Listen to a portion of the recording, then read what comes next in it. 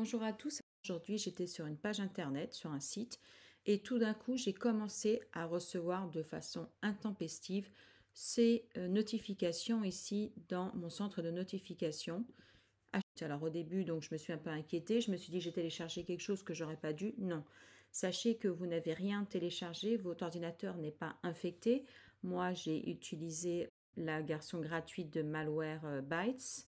Ensuite, j'ai également, de toute façon, j'ai euh, Clean My Mac.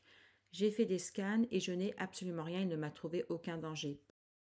Donc, je vais vous montrer comment vous pouvez vous en débarrasser complètement. Vous devez aller dans Safari. Ici, vous allez dans les réglages. Donc, moi, c'est en anglais, donc c'est Settings. Vous venez ici à Website, donc site internet.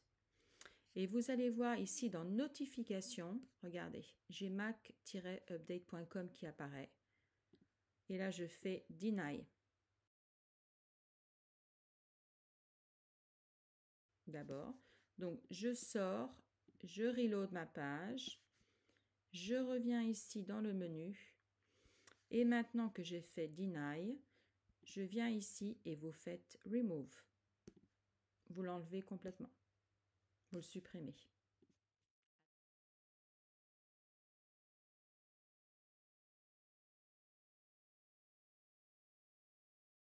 Et maintenant, vous n'avez plus qu'à venir sur la pomme et faire un restart de votre ordinateur.